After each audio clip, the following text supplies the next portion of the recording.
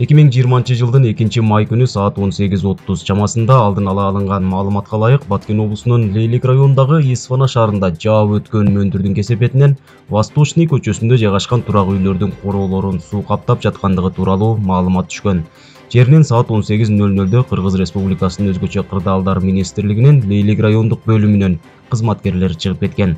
Министр Замирбек Асқаровтың тапшырмасы менен Лейлик районына министрдің орынбасары Равшан Рыспаев жетектеген ыркчам топ жөнөп кетті министр абалды жеке көзөмөлүнө алды. Эскерте кетсек буга чейин өзгөчө кырдаалдар министри замирбек аскаров өзгөчө кырдаалдар министрлигинин негизги милдети болгон жаратылыш кырсыктарынын алдын алуу жумуштарын токтоосуз түрдө жүргүзүлүүгө тийиш экендигин тиешелүү жетекчилерге эскерткен ал эми кыргыз гидромет сел жүрүү коркунучу тууралуу шашылыш билдирүү тараткан бул тууралуу кыргыз республикасынын өзгөчө кырдаалдар министрлигинин басма сөз кызматы маалымдады мына бүгүн экинчи май Çigirme çigirme deyik. Buna seldi qarangızlar. Mana Mana seldi qarangızlar.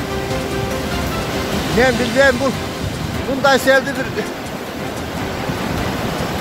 köp yıl bolup ketdi bu sel görmegenime. Buna sel. O sularla qaranglar. Ee караңылар Mana. Bu, bu sel buna. Tam kim tartı atacak? Tam kaldırıyor buna buna. Niye tartı otan? Niye? Buna sel. Buna sel diyor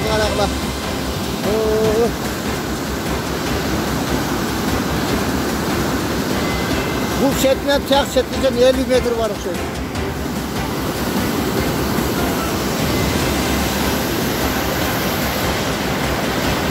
Buna İspanya'ya kireverişler. Koskay'ın aldı. Leylek rayonu Koskay'ı 02 20 20 şunu da sevk etti de. Ay taşen besin yer buna. Oo buna zorba çıktıracak buna. Buna asfalt kavacak kel oda tutacaklar. Buna buna. Kovayı para da buna asfalt kavacak.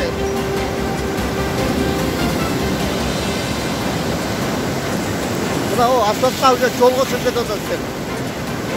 Buna. Buna usunday ekin.